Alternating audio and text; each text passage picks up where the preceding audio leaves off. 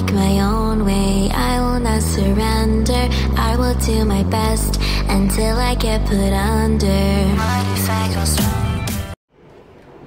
What is up YouTube? Welcome back to the channel. It is Untaken Packs back with a new video and today we have for you is the Japanese order the Vulpix uh, Pikachu Vulpix Poncho looking very awesome and cute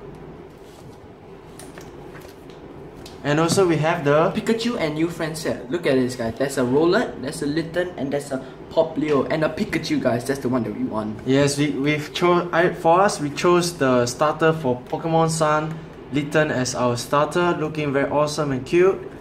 What about yours? Comment down in the section, comment section, comment section below. okay, without further ado, let's get into the unboxing.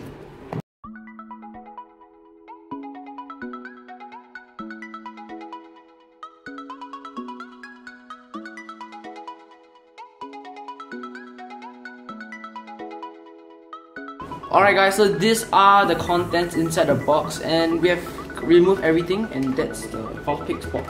Okay, let's see the awesome promo card that we have.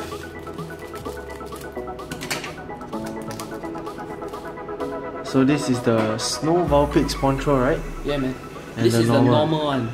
Looking very very cute. We aim to collect most of the uh, Poncho Pikachu cards But out in the missed out market. the uh, Rayquaza one, that's the thing. Yeah. Okay, need to get this lift.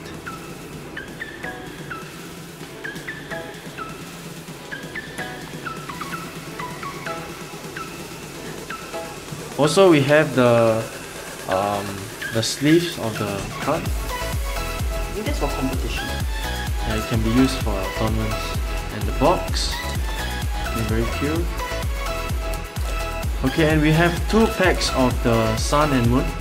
So let's see, let's check our luck. If you guys watched the last video, we actually unpacked the Segalia one. Oh, oh, oh, oh, I saw something. Oh, oh. Okay, uh, li eh, this is Lead Leo. No, this is Eh, a no, no. pop, lip pop, I. Lillipup, yeah. Growly.